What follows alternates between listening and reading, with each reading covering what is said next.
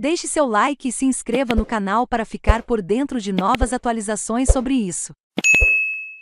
Relembra os maiores ataques da Rússia contra a Ucrânia em 50 dias de guerra. Um hospital, um teatro, uma estação de trem e um massacre nas ruas de uma cidade constituem até esta quarta-feira, 13, os ataques militares mais brutais que as forças russas realizaram em diferentes cidades da Ucrânia. As imagens desses ataques correram o mundo e causaram comoção entre os líderes ocidentais que, após as atrocidades supostamente cometidas pelo exército do Kremlin, endureceram as sanções econômicas contra o governo de Vladimir Putin. Embora essas medidas tenham como alvo instituições financeiras e indivíduos russos, incluindo as filhas de Putin e a esposa e filha do ministro das Relações Exteriores Sergei Lavrov, o presidente da Ucrânia, Volodymyr Zelensky, disse que ainda não são suficientes. Enquanto isso, a invasão russa forçou milhares de ucranianos, a maioria mulheres e crianças, a fugir desesperadamente em direção à Europa Ocidental. São estes civis que são vítimas destes grandes ataques militares.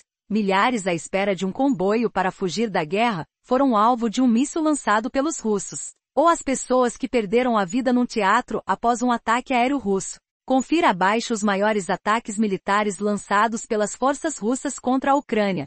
Ataque à maternidade em Mariupol em 9 de março. Os russos bombardearam uma maternidade em Mariupol, no sul da Ucrânia. Imagens dos feridos correram o mundo, incluindo a de uma mulher em seus últimos estágios de gravidez sendo carregada em uma maca em frente aos restos do hospital, localizado em uma cidade sitiada pelas tropas russas desde o início da invasão. O ataque aéreo deixou três mortos e 17 feridos, de acordo com o conselho da cidade de Mariupol, que acusou as forças russas de terem bombardeado o local. O presidente da Ucrânia, Volodymyr Zelensky, condenou o ataque como uma atrocidade e disse que era prova de genocídio. Ataque a um teatro em Mariupol dias após o ataque à maternidade. Cerca de 300 pessoas morreram no teatro de drama de Mariupol, como resultado de um bombardeio de aviões russos, segundo autoridades locais. O bombardeio de 16 de março do local, no qual, segundo as autoridades ucranianas, até 1.300 pessoas estavam escondidas. Foi até agora um dos ataques mais mortais da Rússia desde que começou a invasão da Ucrânia no fim de fevereiro. Kiev denunciou que no chão do lado de fora do prédio a palavra crianças em russo foi anunciada em grandes letras brancas, em tamanho suficiente para serem vistas do céu. Massacre em Bucha as imagens de pelo menos 20 corpos de civis nas ruas de Bucha, a noroeste da capital Kiev, chocaram o mundo. Os registros aterrorizantes surgiram depois que as tropas russas se retiraram da capital, em uma tentativa fracassada de sitiá-la. Embora a CNN não tenha sido capaz de confirmar de forma independente os detalhes sobre as mortes dos civis, os repórteres viram pelo menos uma dúzia de corpos em sacos empilhados, dentro de um túmulo na cidade. Cerca de 150 pessoas, a maioria civis mortos nos combates ao redor da cidade, estão enterradas lá, disseram moradores da CNN. Diante do massacre de Bucha, Zelensky pediu o fim dos crimes de guerra russos. O governo russo negou todas as acusações e disse que as imagens dos corpos eram falsas, afirmando que nenhum morador local sofreu qualquer ação violenta durante a ocupação russa de Bucha.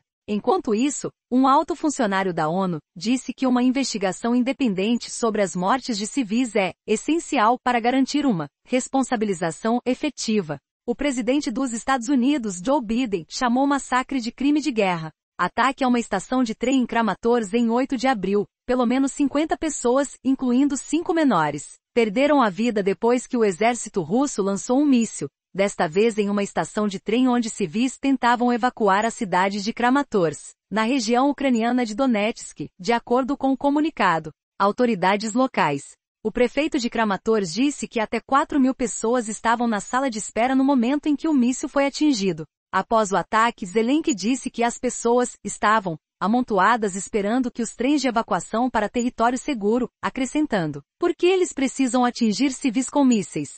Por que essa crueldade em Bucha e outras cidades libertadas pelo exército ucraniano? Disse em discurso ao parlamento finlandês. Por sua vez, o Ministério da Defesa russo emitiu um comunicado no qual descreveu o ataque com mísseis como provocativo e garantiu que não correspondem em nada à realidade. A invasão de Chernobyl durante os primeiros dias da invasão russa, quando bombardeios foram relatados nas principais cidades ucranianas, incluindo Kiev e Kharkiv. A usina nuclear de Chernobyl foi capturada pelos russos. As tropas russas chegaram à fábrica no primeiro dia da invasão, disse a CNN uma porta-voz da agência estatal ucraniana para a gestão de zonas de exclusão, Yevgenia Kuznetsov.